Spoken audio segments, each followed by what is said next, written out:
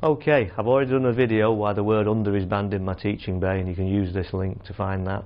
But now let's talk about the second scenario where the word under is banned when players say they're not getting the club under the ball. We really don't want to do that. It doesn't promote solid striking, so let me talk about that in more detail.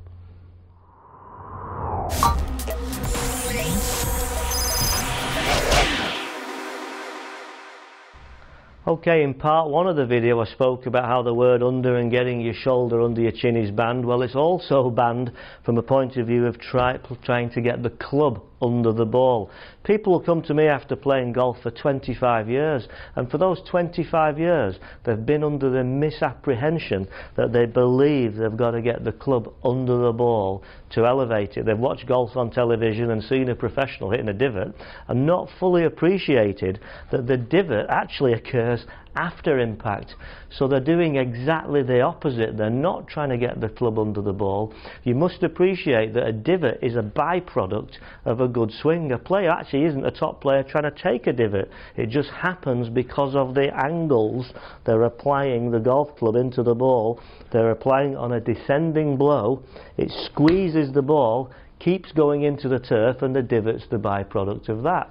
So if you're trying to falsely get the club under the ball, lift it, elevate it, scoop it, call it what you will, you'll inevitably end up either hitting the ground before the ball, your wrists will break down at impact, you'll hit the floor, it'll scoop, you'll get mud between the ball and the face, it'll go nowhere or you'll thin it. So it is just a recipe for poor striking if you think you've got to get it under. Remember, you're trying to trap the ball, squeeze it, get those pictures in your brain rather than under. The club is going to come down, on average, for example, with a 7 iron for a tour player, it's about 4 degrees ish, 4.1. That will crush the golf ball. The divot's the byproduct, and the grooves and the loft and the compression, that'll lift the ball. It doesn't need any extra help from you. So don't try and get under think more about squeeze it or trap it, compress it. Get those words in your vocabulary. That will allow you to get that nice solid strike on the ball. I hope you found that video useful and helpful. Don't forget to subscribe on YouTube. Also, you can follow me on Instagram and Twitter. Also, give us a like on Facebook.